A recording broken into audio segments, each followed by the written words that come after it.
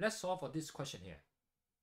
To explain the situation of this question, I would use the picture here to explain. Okay, so this person here, Julie, will slide down the ramp and then she will move across the arc here and she will leave the ramp and perform a projectile motion and then she will land here. Okay, so the question is asking how far horizontally is her touchdown point from the end of the ramp? So we're calculating the horizontal distance here. Okay, so let's see how we can solve this question here. Now, first of all, you have to see that as two parts. The first part is the ramp here. We have to use the energy concept to solve it. The second part is after she leaves the ramp, which is the projectile motion. So we have to use kinematic equation to solve for this. Okay, let's see how we can solve for this question. Now, first of all, we have to use the energy formula. Half mv final square plus mgy final equals to half mv initial square plus mgy initial. Now, what information do we know? Now, first of all, we know that Julie is at rest initially here. So she's at a height of 25 meters. She has potential energy here. As she slides down the ramp, her potential energy is converted to kinetic energy. So initial height here is 25 meters. Now, of course, g is the gravity. We know that it's 9.8 meters per second square.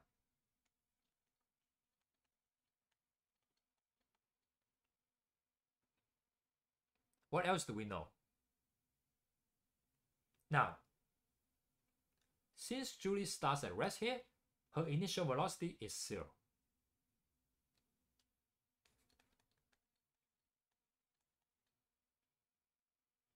Now, here, as we know, this is the end of the ramp.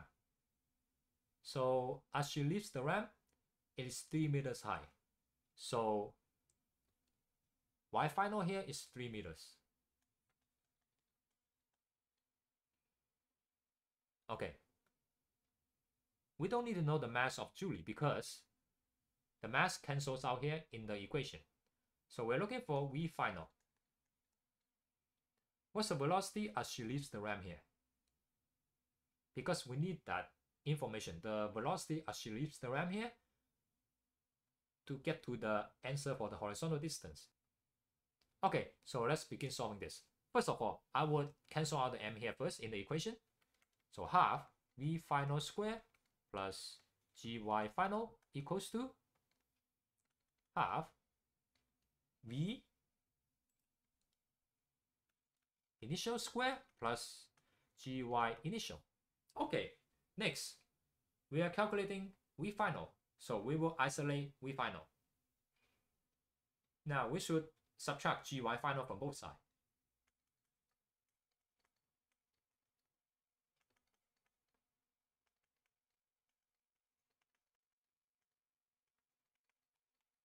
Next, multiply both sides by 2.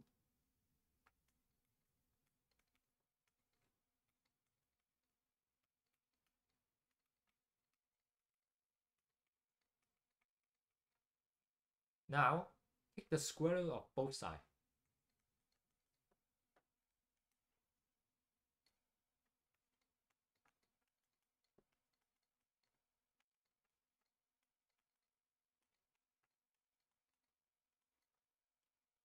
Okay, now we can plug in the information we know. Here, V initial is 0. Here. So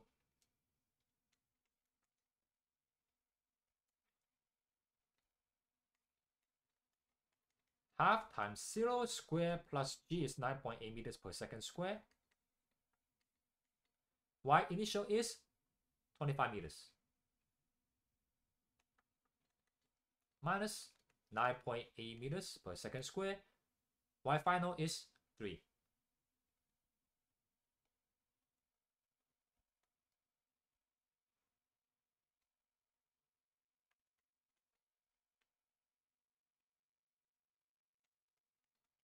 Now put in the calculator, the answer is approximately equal to 20.77 meters per second. That's the velocity as she leaves the ramp here at this point. Okay, now to solve for this horizontal distance, right, of a touchdown point, we're to use kinematic equation now because it's a projectile motion. Now, first of all, we see that this is a projectile motion. So she leaps at the height of 3 meters, and when she lands, the height should be 0 meters. So that's a change in height of 3 meters, right? Think about this. This motion looks like a parabola. We should consider using this equation here. Delta y equals to v. Now, we need the velocity in the y direction, right? Times delta t plus half acceleration delta t squared. Now, in this case, we can calculate the velocity in the y direction, and we know acceleration is 9.8 meters per second squared down in the y direction. So we know the change in height. Then we can calculate the time it takes Julie to go through this projectile motion and then land. Okay, now change in y, let me write this. Change in y is equal to y final minus y initial. Now, be careful. The y final and the y initial here is no longer the y final and y initial I'm talking about in the energy equation here. Because the y final and y initial in the energy equation is for the RAM here. Okay, so this is y initial, this is y final in the energy equation. But now we're talking about kinematic equation. So the y initial is here and y final is here. So we know that y initial is 3 meters high, y final is 0 meters. So we can write this. Change in height is equal to 0 minus 3. So change in height is negative 3 meters. So we know that we can calculate the velocity in the y direction. So we have to break this part here into component. This part here, the velocity, right? Going out here into component. So how do we do this? Okay, so that is v, velocity, right? And then break into component. So this is the v x and over here, this is Vy. Okay, so we need the y component here. How do we calculate the y component? We know V is 20.77 meters per second. So of course, right, there's an angle theta here, let's say, which is this angle here. There's an angle theta here,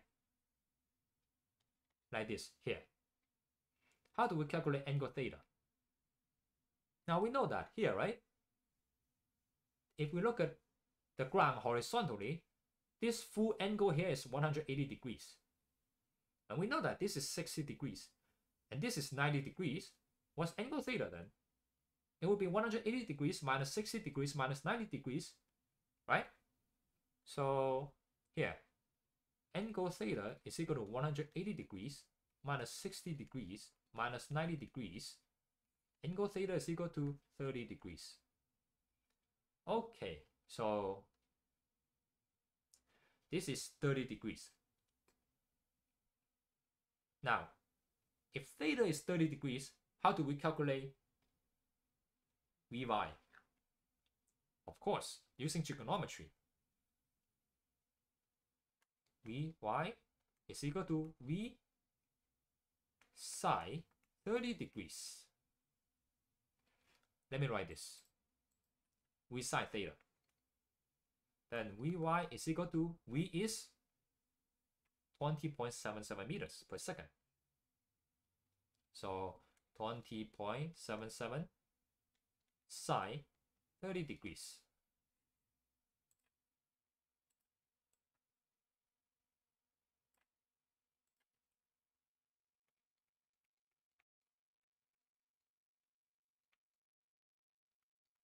Vy is equal to approximately 10.39 meters per second. Okay, now we know this value, we know this value, we know acceleration in the y direction, we can calculate t. Okay, so delta y is negative 3. So we have negative 3 equals to Vy is here, 10.39 meters per second times delta t plus half acceleration, so which is half times negative 9.8 because it's going downward in the y direction due to gravity, right? Times delta t squared. Okay, now this is equal to negative 3. Negative 3 equals to 10.39 delta t minus 4.9 delta t squared. Now, add 3 to both sides, we have negative 4.9 delta t squared plus 10.39 delta t uh, plus 3 equals to 0. Now, you have a quadratic equation to solve for t. Now, it's easier to use the quadratic formula to solve for this. So, delta t is equal to negative 10.39 plus or minus square root of 10.39 square minus 4 times negative 4.9 times 3 all divided by 2 times negative 4.9. Now, delta t is equal to negative 10.39 plus or minus, what's this? 12.91. or divide by 2 times negative 4.9. Okay. Now, the time cannot be negative. Has to be positive. So if you look at this here, if you use the addition, this will be positive, but this is negative. So it will give you a negative value. So you cannot use the plus sign you have to use the minus sign. So delta t is equal to minus 10.39 minus 12.91 all divided by 2 times negative 4.9. And that would give us approximately equal to 2.38 second.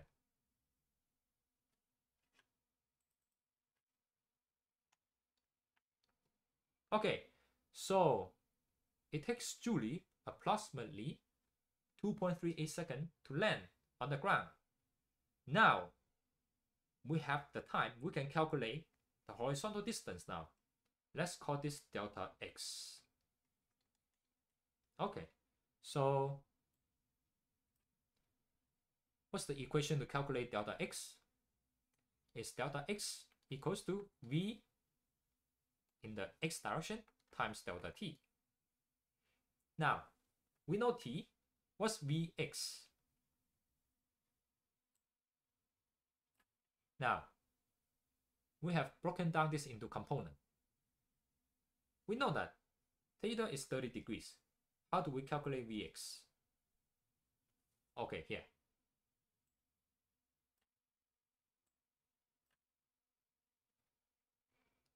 Vx is equal to V cosine theta. So Vx is equal to V is 20.77 cosine 30 degrees. Then Vx is equal to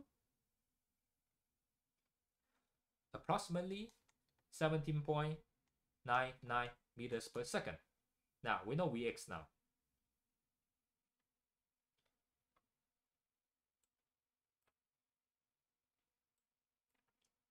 And we know t as 2.38 seconds. So delta x is equal to 17.99 times 2.38. Delta x is equal to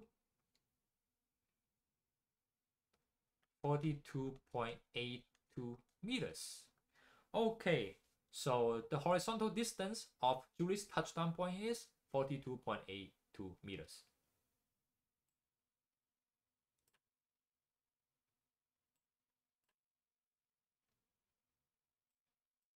Which is this distance here. Hope you enjoyed this video. Don't forget to subscribe to my channel. Thank you.